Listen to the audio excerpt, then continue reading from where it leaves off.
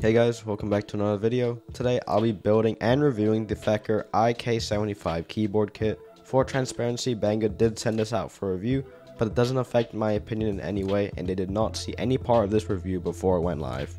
This keyboard retails on Banggood for around 95 US dollars, which obviously is much cheaper than its aluminum competition with $170 for the GMMK Pro and $150 for the Q1 and Mod 007, though the V2 may be a bit pricier.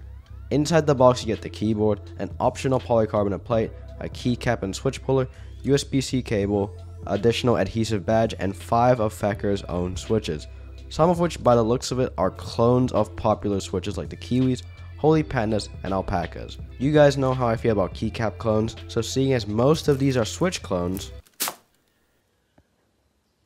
so this is the IK75V3. It's one of Feker's newest keyboard offerings and it looks like pretty much every other 75% with a knob. Same exploded 75% layout with a knob in the top right corner, 4 keys on the right, F row pushed closer together to make room for the delete key. It's really nothing new and I think that we've seen this layout more than enough times. It's getting a little old. Aside from that and the fact that it's gasket mount, more on that later, that's where the similarities end. Like I mentioned earlier, it's made of a plastic case and it's pretty high quality. Good thickness, nice smoky look, though some people may prefer a solid black. It's also available in white and blue, both of which also being translucent. It uses a steel plate pre-installed, but like I mentioned earlier, there is a polycarbonate plate included if you want to switch it out. It has Bluetooth 5.0 and 2.4 GHz connection, and the 2.4 GHz dongle is actually underneath the flip down feet, which is good for traveling as having a dedicated space for the dongle means you're less likely to lose it. There is per key RGB and underglow RGB, but the sockets here are north facing so you may run into interference with cherry profile keycaps. It does have plate mount stabs and screw-ins are not supported here. You can only use plate mounts. It has two layers of case foam, one surrounding the sockets and one in the case, and these are both made of EVA. You can also see that there are two 4000 mAh batteries which makes battery life very long in wireless mode. There's also EVA PCB foam in between the plate and PCB, which means that this is a very muted keyboard with the silicone gasket tabs in the top and bottom housing. The knob itself is metal with a plastic interior, and below the knob you can see the 4 LED indicators for caps lock, Windows lock, 2.4 GHz, and Bluetooth. To start off this build, the first thing I'm going to do is test out the stabs. These are factory lubed, but they still have some rattle, but because the spacebar is kept in place by the PCB foam, I had to disassemble the whole keyboard by unclipping the plastic clips and pulling the top housing off. Oh, did I break it? No, I'm good.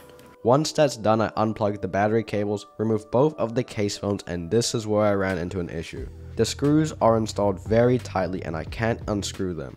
This has been an issue for me ever since I started reviewing, and although Banggood has sent out a wow sticker for me to use, it hasn't arrived yet. So for now, I'll be sticking with the stock stabs because I don't want to risk rounding the screws. Don't worry, I'll be modding this keyboard in a future video once the Wowstick comes in. The switches I'll be using are the Novel Keys Silk Milkshakes. These are linears with a 63.5 gram spring and a poppy sound signature. And I lubed these with Krytox 205 grade 0 on the stem and donut dip the springs in 205 grade 0 as well. Once I add the switches in, I'll put the keycaps on. The keycaps I'll be using are MT3 white on black by drop. These are super tall and sculpted keycaps that really deepen the sound of the keyboard and I hope it pairs well with the milkshakes to kind of form a deep poppy sound signature. Aside from the stabs, it really is as simple as putting all the switches in and then putting all the keycaps on. Here's how the build sounds.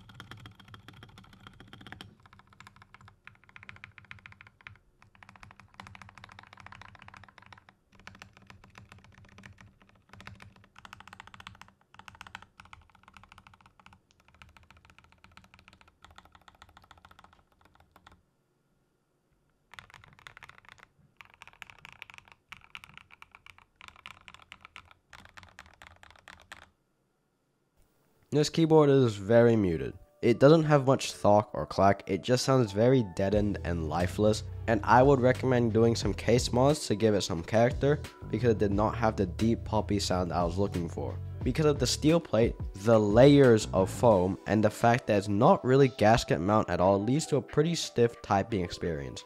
Switching to the polycarbonate plate should help with that. You see, the way this gasket mount works is these ridges stick out and come into contact with these silicone tabs. You can see it through the translucent casing. It provides zero flex for the keyboard. I really don't like the fact that this keyboard, as well as some of the newer keyboard offerings, keep the spacebar in place with the PCB dampening.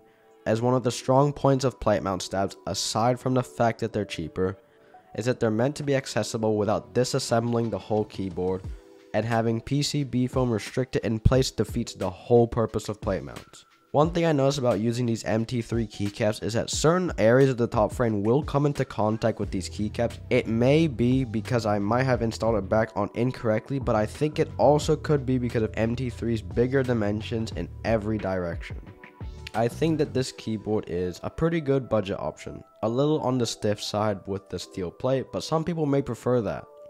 For $95, I think that if this is your first keyboard, then you'll be fine with it. But if you've built a keyboard before, or you own a couple boards already, I'd recommend getting something else as this keyboard won't offer anything new unless you have to have a 75% with a knob and you're on a tight budget. Both keyboard kits and pre-builds are becoming more and more saturated, but I see all of these budget options seem to have tons of foam packed in. And while it guarantees that the keyboard won't sound bad, it also doesn't necessarily make it sound good either. So it's a give and take situation for both manufacturers and consumers. Overall, not a bad keyboard if you're first starting out in the hobby.